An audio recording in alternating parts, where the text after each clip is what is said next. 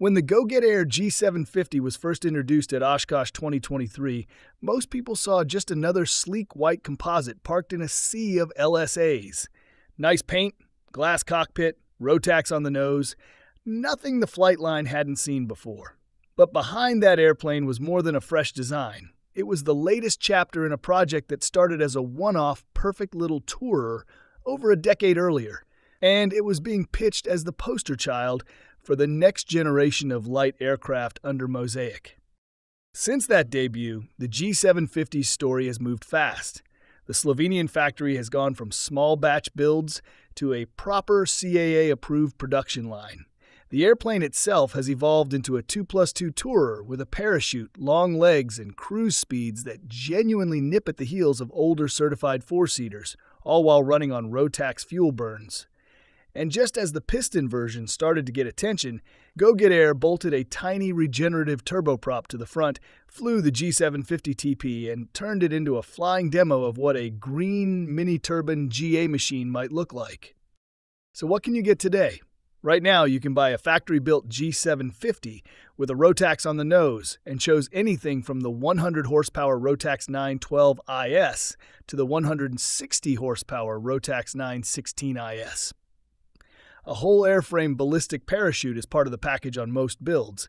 Go Get Air even lists ready for delivery aircraft on their site, including a brand new 914UL G750 and a used 914UL demo aircraft, both factory built or factory assisted. So, from a buyer's point of view in Europe, this is a real in production airplane, not a CAD render and a dream.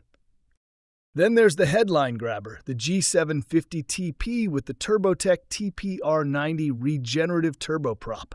This isn't vaporware either. The TPR90 G750 first flew in September 2024, and by 2025, Go Get Air was saying they'd got CAA approval and had delivered a small turbine aircraft to a customer, so at least one G750 TP is actually out in the wild. AOPA is already quoting it as a catalog option at roughly $378,000 for a 916 IS piston G750, $495,000 for the turbine version, and about $60,000 more if you want a full Garmin IFR panel. So, yes, the turbine is real, but right now it's early adopter, unicorn customer territory, not a mass market choice. So, what box does it live in? In Europe, the paperwork looks like this Go Get Air has a Slovenian Civil Aviation Authority CAA production certificate, so the factory is approved and audited.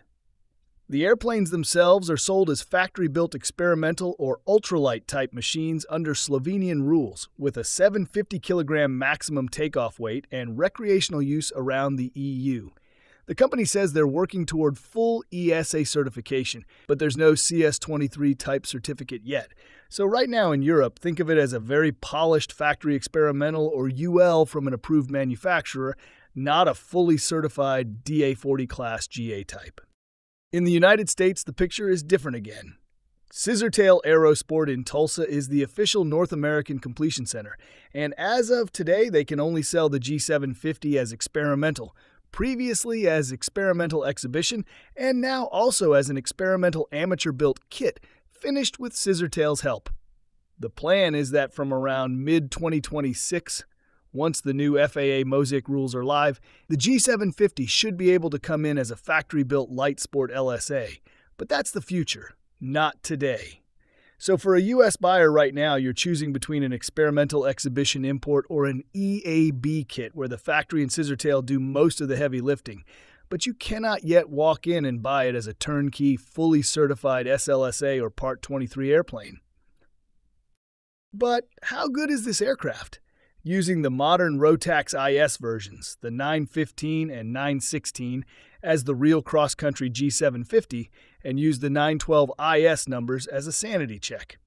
Depending on who you ask, the brochures say the factory and dealers quote an optimal cruise of around 145 knots, with the more powerful engines up to 160 horsepower, and they also talk about an optimum flight speed of 132 knots at around 23 liters an hour, which is roughly 6.1 US gallons per hour.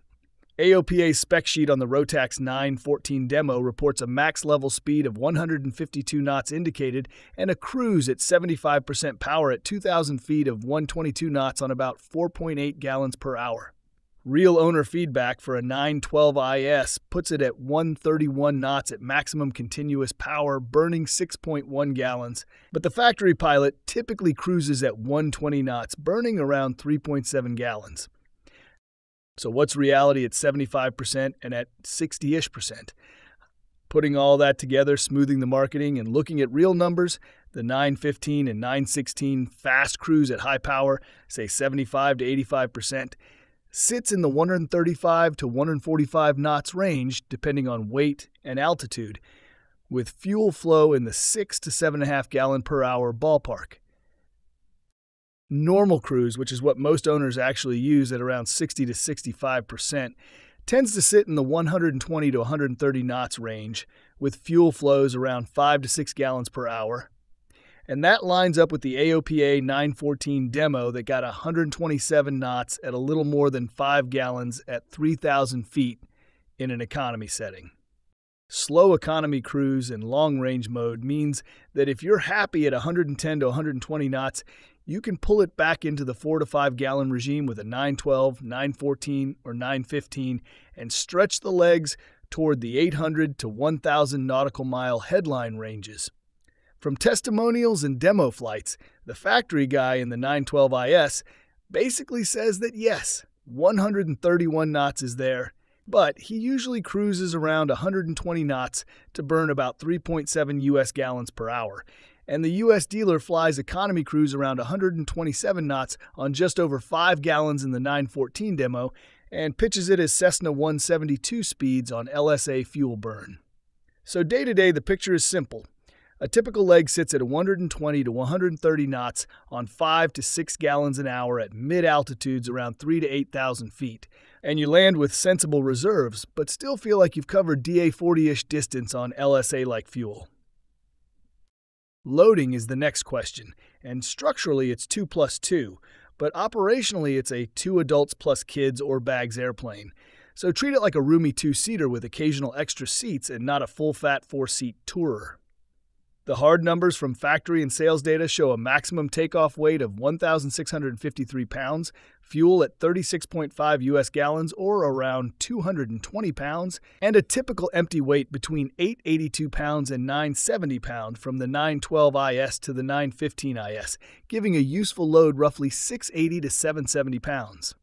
AOPA's tested 914 demo had an empty of 977 pounds, a useful of 676 pounds, and a payload with full fuel of 447 pounds.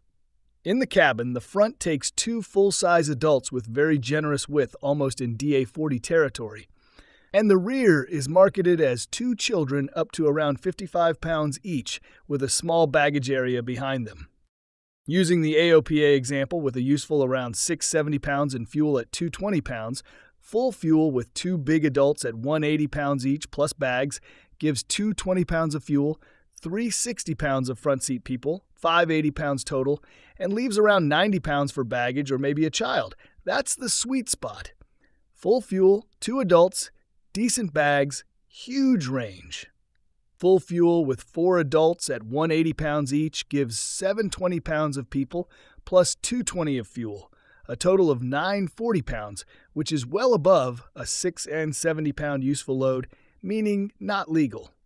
To make four adults work at all, you'd have to drain fuel down to maybe 25 to 30 gallons or less, and accept a much shorter leg and possibly smaller people. And even then, the airplane is not really marketed for four full size adults because the rear is explicitly kids or extra baggage.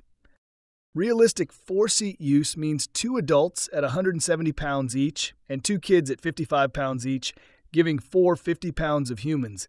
And with full fuel at 220 pounds, you're at 670 pounds, right on the AOPA useful load figure, with no baggage. So you can do two adults and two kids in full fuel if everyone is light and you don't bring half your house. In practice, most owners will use it as two adults, full fuel, 44 to 66 pounds of bags as the primary mission, occasionally adding one child or a very light third person and shaving fuel, and rarely running two adults and two kids on partial fuel for a short hop. If you mentally group it with DA40s or SR20s as a true four adult machine, you'll constantly be fighting useful load, But if you group it with the VL3 or TL Sparker as a fast two seater with optional seats, it suddenly looks generous. Range is the next piece, and the book numbers, depending on engine and marketing line, include factory and dealer claims up to 1,000 to 1,100 nautical miles at 65% power in long range settings. They also talk about up to 9 hours of endurance on the 912 IS at low fuel flows. An owner with a 912 IS says 131 knots at maximum continuous power on 6.1 gallons an hour and cruise at 120 knots on 3.7 gallons an hour with range over 9 hours or around 1,000 nautical miles on 36.5 gallons. Reality at normal cruise for a 915 or 916 version using fuel at 36.5 gallons usable is 120 to 130 knots at 5 to 6 gallons an hour. At 6 gallons, you have just over 6 hours to dry, so think 4.5 to 5 hours practical with reserves. And at 125 knots, that's roughly 560 to 630 nautical miles of real range with IFR reserves and some headwind margin. If you're willing to baby it and pull back to 110 knots at 4 gallons an hour, you're nudging into the 800 plus nautical mile zone in still air. So the 1,000 to 1,100 mile numbers are perfect day, slow cruise, use every drop figures, mostly for marketing and ferry legs. Your day to day realistic planning number for the 915 or 916 is closer to 500 to 700 nautical mile legs at 120 to 130 knots on 5 to 6 gallons an hour with proper reserves. And that's still firmly DA 40 class reach on way less fuel. On a typical leg, Put yourself in the left seat on a 350 to 500 nautical mile cross country where you load two people, full fuel, weekend bags, and still feel comfortable on weight and balance. You climb at 900 to 1,000 feet per minute into the mid single thousands, set 120 to 130 knots, see 5 to 6 gallons an hour on the Dynon or Garmin, and watch the range ring sit well beyond your destination. Ride quality is more light four seater than twitchy LSA thanks to the wing loading, and you land after three to four hours with an hour or more in the tanks, and you never once thought about mixture or cowl flaps. So the speed is roughly DA 40 light. The fuel is closer to a modern LSA or VL3 than a legacy four seater. The seats are 2 plus 2 with very honest fine print about who fits in back.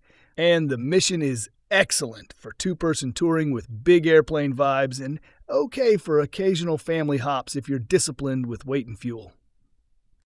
But what about the turboprop version?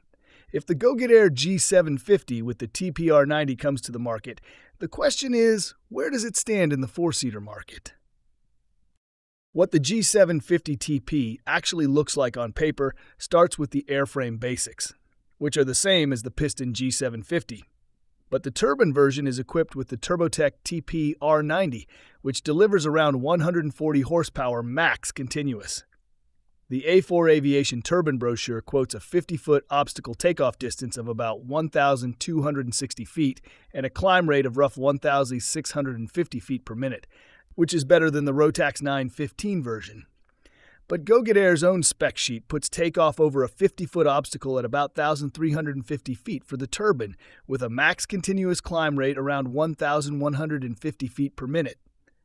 Something is going on here. And remember, A4 Aviation is Go Get Air's Western Europe distributor and integration partner, not some random blog or forum commenter. This aircraft burns Jet A, with claimed fuel burn as low as the Rotax. Moja Grip and others are quoting early demo numbers around 147 knots at about 8 gallons per hour and something like 1,500 miles of range, but that's early testing and marketing, not final POH gospel. So, realistically, if and when it's in customer hands, you're looking at something like cruise in the mid 140 knot range.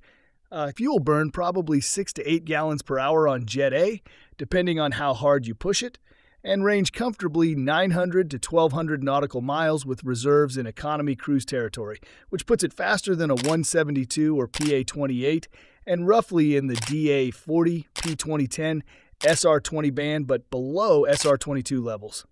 So, what does it compete with?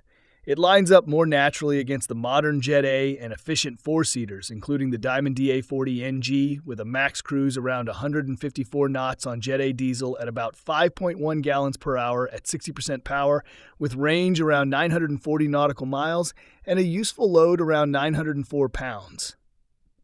The Tecnam P2010 TDI with a max cruise around 140 knots at about 5.2 gallons per hour on Jet A, with range up to around 1,000 to 1,300 nautical miles and a useful load around 880 pounds. And machines like the Sling TSI and MCR 4S Evolution, the fast Rotax 9 15 powered four seat experimentals in the 145 to 160 knot bracket with similar useful loads and ranges plus the Cirrus SR20, which sits at 215 horsepower and around 145 knots cruise as a certified four seater, but heavier and avgas burning. Where the G750 TP differs inside that group is that it's Jet A turbine, not diesel or avgas. It's fixed gear, composite, shooting glass, like a baby SR or DA40 hybrid, and it's likely to cruise in the same mid 140 knot region as the DA40, P2010, and SR20, but with turbine smoothness, slightly lower useful load, and in many markets a lighter certification or UL experimental regime.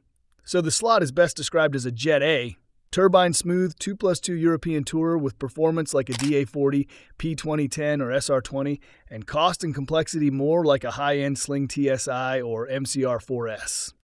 This plane can be a healthy niche hit. Despite that production scale is tiny, and AOPA notes that GoGet Air had delivered 23 aircraft worldwide since 2013, including the first TPR-90 turbine customer delivery, and Turbotech themselves expect to deliver about 50 R90 engines in 2025, with capacity up to 500 annually if demand materializes. And even if every other R90 went into G750 TPs, which they won't, since VL3, Bristell, TL, and UAVs are also customers, that's still dozens per year, not hundreds. It's also a premium early adopter machine, and a price around $350,000 is great, but not cheap versus a used SR20, DA40, 182, or a Sling TSI build. And with a turbine, a new engine type, and a small OEM, many conservative buyers will wait and see how real world fuel burn lands, what maintenance actually costs, and how support and parts look after 5 to 10 years. So that's it for today's video. Don't forget to like, subscribe, and ring that notification bell. It helps me a lot.